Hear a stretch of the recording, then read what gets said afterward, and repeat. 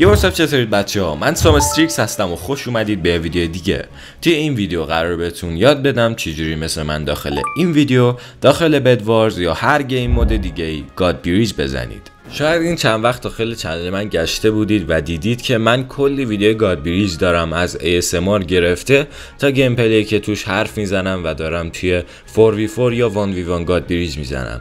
حالا سوال اینه که شما چجوری می‌تونید مثل من god bridge و master بشید؟ god زدن عموما کار خیلی سختی نیست. تنها چیزی که نیاز داره چند تا نکته مهمه که باید رعایتشون کنید. اولین نکته داشتن یه موس مناسب برای short drag ه short drag یعنی چی؟ short drag یعنی کشیدن دست روی موس با سرعت زیاد نه خیلی زیاد با سرعت متوسط با timing ی که بتونید block و زیر پاتون place کنید.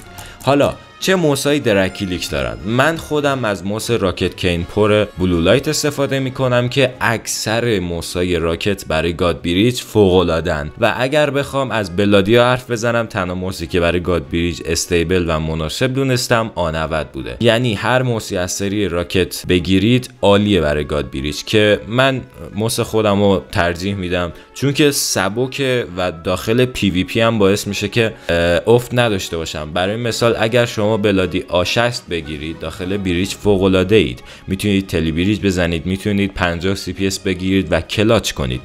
اما نمی‌تونید توی PvP خیلی خفن باشید. نمیگم خیلی بده A60 برای PvP. در واقع نمی‌تونید با A60 یه PvPer فوق العاده بشید. اما عموما موسای سبک می‌تونن خیلی کمک کنن داخل PvP. پس چی شد؟ از سری Roccat هر موسی بگیرید خوبه. ترجیحاً Roccat Kone Pure Ultra و Roccat Kone Pure Owl-Eye.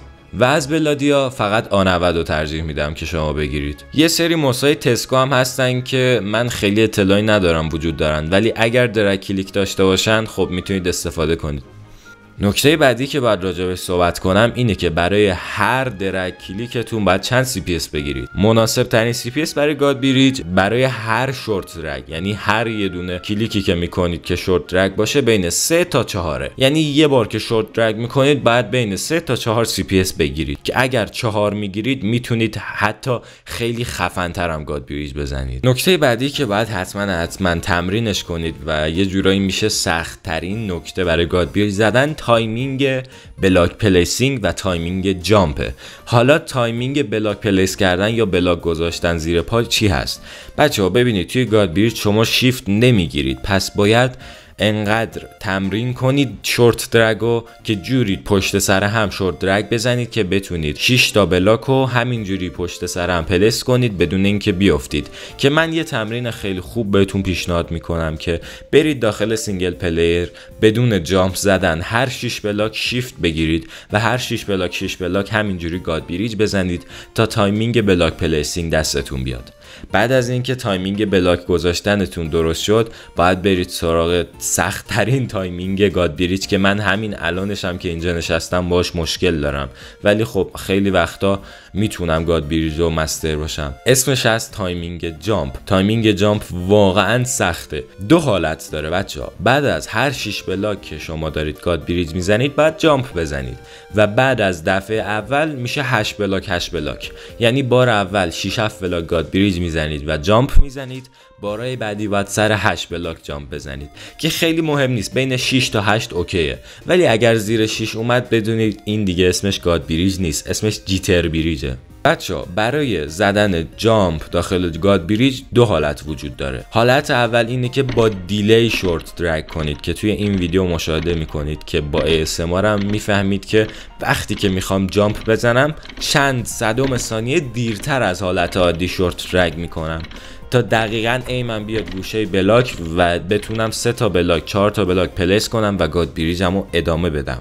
حالت بعدی اینه که CPS بیشتری بگیرید اون لحظه. یعنی اگر به صورت عادی دارید block place می‌کنید و 3 CPS می‌گیرید توی هر short drag تون بهتر موقع jump 4 CPS بگیرید که بازم برمیگرده به همون یه چند ثانیه دیر کلیک کردن ولی فرقش اینه که اون چند ثانیه رو شما دارید drag می‌کنید و اون time رو پر می‌کنید با کلیک کردن.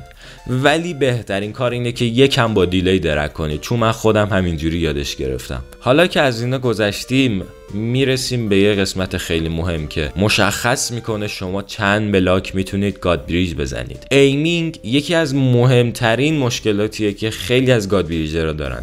چون که وقتی شما دارید Bedwars play می‌دید نمی‌تونید sens تون رو کم کنید و همینجوری god bridge بزنید. چون که تو PvP حتما میمیرید.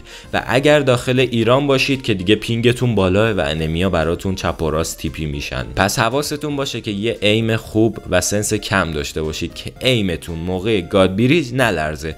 چون اگه بلرزه حتما حتما میافتید. شما می‌تونید با تمرینایی که توی short drag دارید یه کاری کنید. دستتون رو از روی موس بردارید بچه ها و یه مثبت خوب و چسبناک داشته باشید که موستون تکون نخوره. وقتی که دستتون رو از روی موس برمیدارید شما لرزش کف دستتون به موس نمی‌خوره که موستون به لرزه. پس این روش رو حتما امتحان کنید. فقط با انگشتی که راحتید شورت درگ کنید و هیچ تماس دیگه ای با موس نداشته باشید که تکون بخوره. اگر می‌خواید سنس منو بدونید خب الان بهتون میگم. من با DPI 800 روی sens 50 تا 60 play میدم که این sens god bridging مه یعنی می‌تونم هم bedwars play بدم باش هم god bridge بزنم. ولی اگر بخوام god bridge نزنم از DPI 800 و sens 81 استفاده می‌کنم چون که می‌تونم باش واکنش های سریعتری نشون بدم.